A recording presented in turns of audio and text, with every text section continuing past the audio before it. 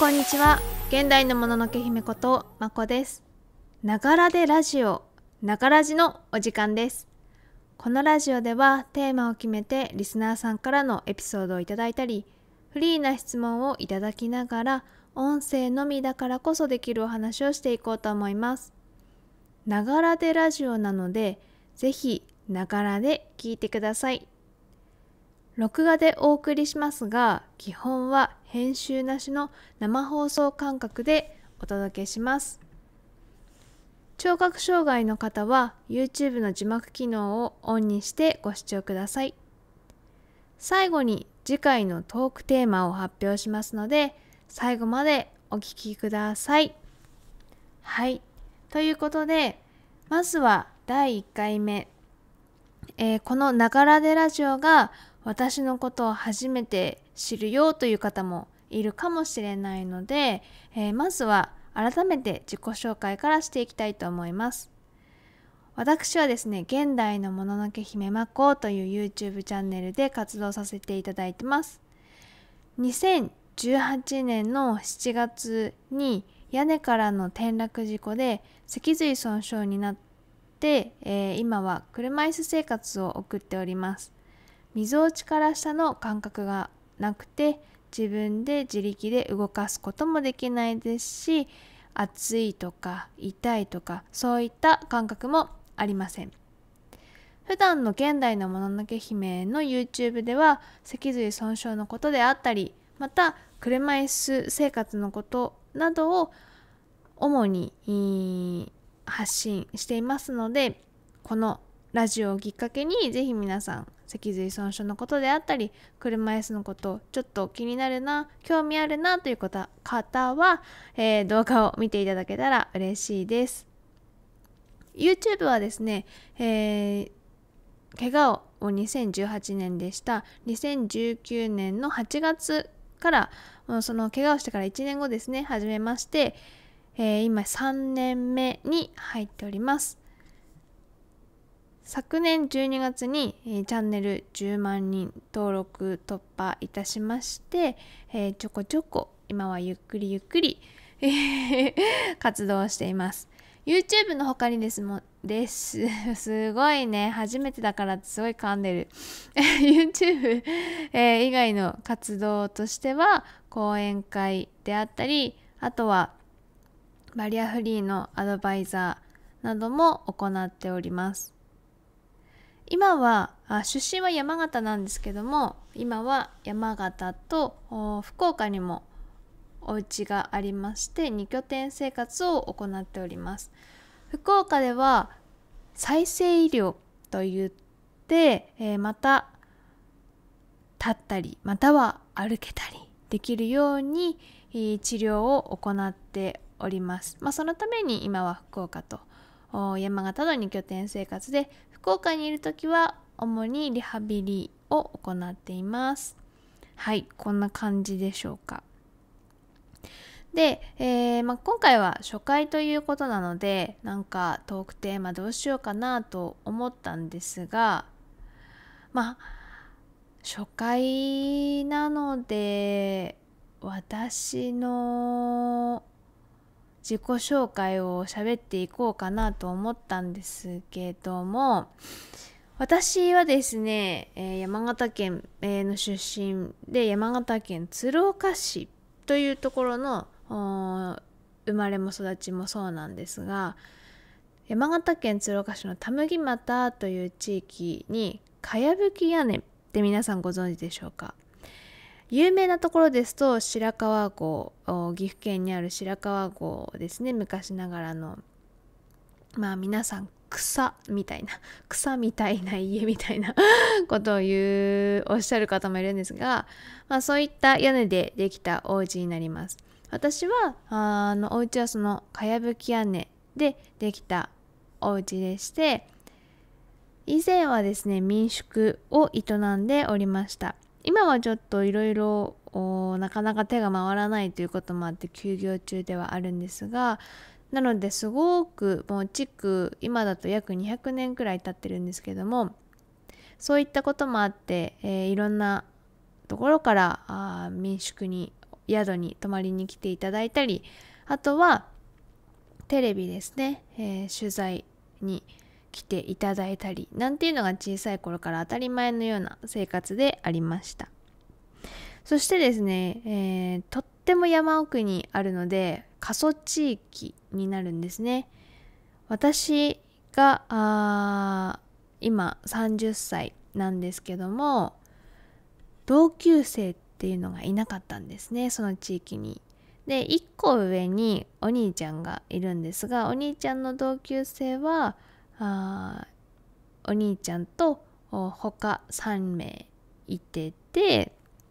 で私の1個下にもいなくて2個下に3人いててでその下2つ下までいなかったのかな。なので私が6年生になった時には、えー、6年生私1人。で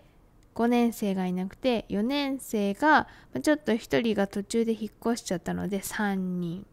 で、えー、3年生2年生がいなくて1年生が2人っていうようなあすごくすごく少人数な学校だったんです。なので授業は複式学級って言って、えー、私は6年生の時は46年教室でやってました。もう横一列なので席替えなんていうものはないんですね。まあ、あるとしたら左端に行くか右端に行くかっていうような感じでした。授業は国語とか算数っていうのはあ先生が担任の先生が半分ドリル例えば4年生がドリルやってる時は私は先生の授業を受ける。である程度キリが良くなったらじゃあドリルしててねって言ってドリル私はしてて4年生が授業をしてるっていうような感じでした。なのであそうですね。で社会とか理科っていうのは実験とかまだ当時はワープロ？パソコンかな？パソコンを使ったりもするような時代ではあったのでなかなかそこだと複式学級ではできない。ということでえー、私がいた学校は文校だったので本校からですね本校から校長先生が理科教頭先生が社会という感じで毎回毎回来てくれてマンツーマンでの授業でした。まあ、なので、まあ、小学校だから居眠りとかっていうのはあんまりないとは思うんですけどでも居眠りとかっていうのもできないですしなんか例えば先生から「はいこれ分かる人なんか質問ある人とか挙手制ではないんですね。もはやもう強制ですね。私が 答えない限りはもう授業なんか進まないので基本的にはもう常に先生と本当に話しながらあ授業を進めていったっていうことだったので小学校の頃はねめちゃくちゃ頭が良かったですね。めちゃくちゃが頭がいいっていうか別に間違えることが基本的になかったので、えーても優秀だったと思います。で、えー、その小学校の頃のエピスエピソードが私は結構当たり前だったと思ってたんですけど社会人とかまあ高校生とかになって周りの人に話すとめちゃくちゃ特別だったよねっていう話になるんです、まあ、例えば修学旅行ですね。6年生、えー、私以外に香港に男の子が3人いました。で、まあ、計4人なんですね。で山形の小学校の修学旅行って大体お隣宮城県の松島に行くことが多いんですけども本当だったらバスを観光バスを貸し切って、えー、学校から出発ってなると思うんですが4人なので、えー、観光バスを貸し切るということができずに普通に高速バスですね。朝高速バス乗り場に行って、えー、他のお客さんたちと一緒に、えー、乗り込むっていうような形でした。で付き添いの先生があ3人だ3人か4人だったはずなんですよね。なのでもう先生と生徒の数が一緒みたいな感じです。でまた授業の延長線で修学旅行ってあるのでこう例えば下調べしていた神社に行くとか神社の歴史を学びに行くとかっていうところだと本校のその男の子3人とは授業のスピードが違うので、えー、男の子たちは男の子たちグループで、えー、そういった延長線の校外学習みたいなのをやって私はそのマンツーで社会の先生男性なんですけど 教頭先生とマンツーで松島の神社の方に観光に行く。もう旗から見ればもうお父さんと娘みたいな 感じで、えー、もう観光というかそういうのをしてるんです。で私はやっぱり小学校6年生で結構もう思春期でませませだったのでなんで？みたいな。なんで教頭先生と2人でなんかお寺とか回んなきゃいけないの？みたいなね。で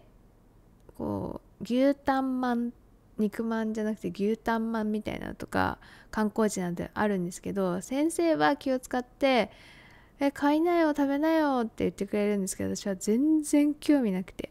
「先生買ってあげるよ」とか言ってくれたんだけど「いやもういいです」みたいな。で写真がですね、えー、先生が基本撮るわけですよ。で私が映るわけですよ。でもテンション全然高くないから全然ピースもしないし笑顔もなくてえ、振り返ると今振り返ってその修学旅行の時の写真を見るともう棒立ち。ずっと同じポーズのその棒立ちがただただあるだけっていうような写真がたくさんありました。で夜はあのー泊まるところがですね多分大体旅館とかが普通なのかなと思うんですけどそんなことはできないのでビジネスホテルに泊まった記憶がシティホテルかな多分に泊まった記憶があります。で大部屋とかではなくて、まあ、女子は私1人しかいなかったので担任の先生が女の先生だったんですね。なので担任の先生とツインです。まさかのツイン。もうなんかこう先生が先生会議に行っている間にその時当時携帯をも持ってたんですよ。で隠れて携帯を持ってきてなんか携帯で友達と連絡を取り合ったりあと見たいテレビを何時まで見ていいのかなって思って。で先生に夜10時11時くらいになってもまだテレビ見てていいですか?」って言ってテレビ見てたりしたり してました。でご飯はあホテルのご飯ではなくて近くにあの利休っていう牛タン有名な牛タン屋さんが仙台にあるんですけどもそこにあの団体予約みたいな 宴会予約みたいななんかそういうテンションで行って、まあ、ちょっと机、えー、隣同士に座って食べるっていうことをやってましたね。なんか本当にちょっと大大家族大家族か。大家族の旅行みたいな感じで、えー、過ごしてました。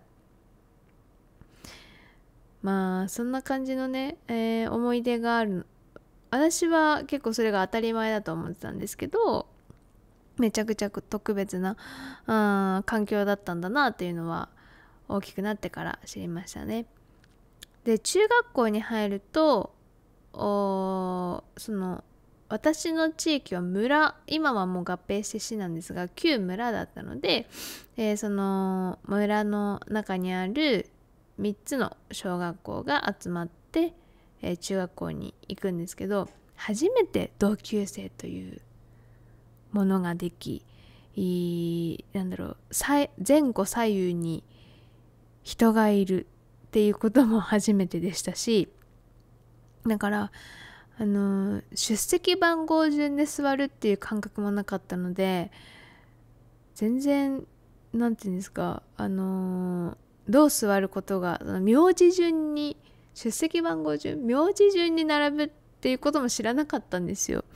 であとプリント配布ですね。プリント配布も前から来たものを後ろに回すっていうこともしたことがなかったので前から回ってきた時「え何何何何何?」って、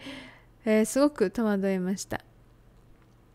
だしプリント回収の時も後ろの人がプリントを回収してくるなんていうのもびっくりしてなんか本当に初めの中学校生活っていうのは驚きばかりでしたね。で一人で行動するまあ一人で行ってたので一人で行動することが当たり前だったんですけどなんか女子の連れション？なんかまあ小学校私のいてた小学校以外は、まあ、ある程度の大きさがあっ大きさがあったって言っても、まあ、1クラス中学校の時2クラスあって1クラス28人くらいの規模ではあるんですけど、まあ、それでも同級生が他の小学校の子たちは隣のクラスであったり自分のクラスにいるわけですよね。だからあの休み時間になると隣のクラスからわざわざ「何々ちゃんトイレ行こう」っつって一緒にトイレに行くわけですよ。